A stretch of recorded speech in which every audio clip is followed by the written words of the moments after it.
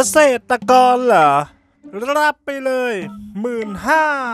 พบกับหมีม่วงยั่ว Google 10เตือนเกษตรกร รีบลงทะเบียนเกษตรกรกันเถอะนะครับ รับเงิน 5,000 ก่อน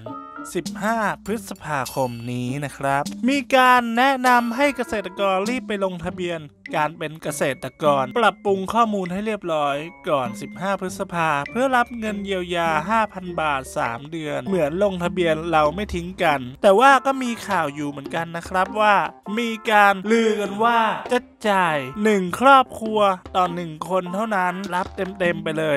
15,000 บาท ก็ไม่รู้ว่าข่าวไหนถูกต้องกันแน่นะ เพื่อนๆก็ลองตามข่าวกันให้แน่นอนนะครับ ผมอันนี้ผมอ่านข่าวมาอีกทีนะครับอะภายหลังนะครับที่คอรมอมีมติเห็นชอบ อนุมัติการเยียวยาเกษตรกรที่ได้รับผลกระทบจากโควิด ก็จะได้รับ การช่วยเหลือเหมือนเราไม่ทิ้งกันนะฮะถึงเวลาของเกษตรกรบ้างแล้ว ทั้งนี้ทั้งนั้นนะครับก็ขอให้เพื่อนๆนะฮะที่เป็นเกษตรกรทุกท่านนะครับ ลงทะเบียนผ่านเว็บไซต์กรมส่งเสริมการเกษตร ภายในวันที่ 15 พฤษภาคม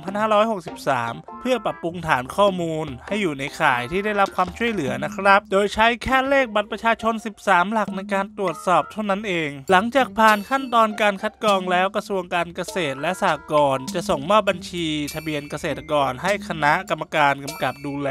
ผู้ที่ได้รับผลกระทบจากโควิด พิจารณาดำเนินตามมาตรการและเงื่อนไขที่กระทรวงการคลังกำหนดนะครับ โดยโอนเงินเยียวยาเข้าบัญชีธนาคารเพื่อการเกษตรกรหรือทกสสำหรับกรณี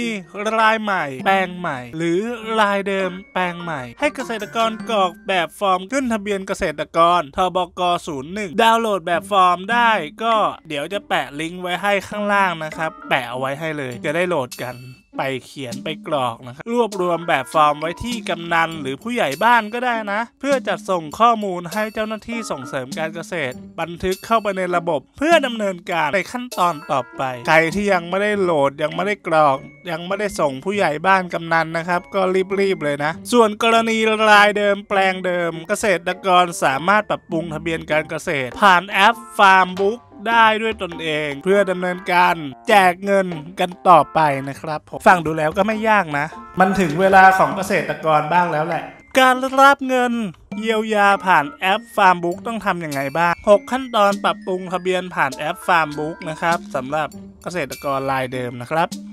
ขอให้เกษตรกรแจ้งปรับปรุงทะเบียนเกษตรกรเป็นประจำทุกปี หรือ ทุกรอบการเพาะปลูก ขั้นตอนที่ 1 ก็ดาวน์โหลดแอปนะครับผม ขั้นตอนที่ 2 กดเลือกเมนูแจ้งปลูก ขั้นตอนที่ 3 เลือกแปลงปลูกที่ต้องการ รับแจ้งปรับปรุงทะเบียนเกษตรกร 4. เลือกพืชที่ต้องการ แจ้งปรับปรุงทะเบียนเกษตรกร 5. กรอกข้อมูลในส่วนต่างๆ ให้ครบถ้วน 6. กดบันทึก Farmbook ใช้ได้เฉพาะเกษตรกรรายเดิมแปลงเดิมเท่านั้นนะครับ ใครที่เป็นรายใหม่ก็โหลดแบบฟอร์มนะครับ แล้วก็กรอกไปให้กำนันผู้ใหญ่บ้านตามที่ว่านั่นแหละ อะ เดี๋ยวเราจะขึ้นข้อมูลการใช้ฟาร์มบุ๊กของเกษตรกรรายเดิมแปลงเดิมให้นะครับ 6 หัวข้อนะ อ่าอันนี้นั่งอ่านกันไปง่ายๆ ลองดูนะครับ ใครที่เป็นเกษตรกรก็ขอให้ได้รับเงินเยียวยาตามที่เขาบอกอย่างครบถ้วนไม่ว่าเขาจะจ่ายยังไงก็ตาม ก็ขอให้ทุกๆคนโชคดีนะสำหรับวันนี้ขอลาไปก่อน สวัสดีครับ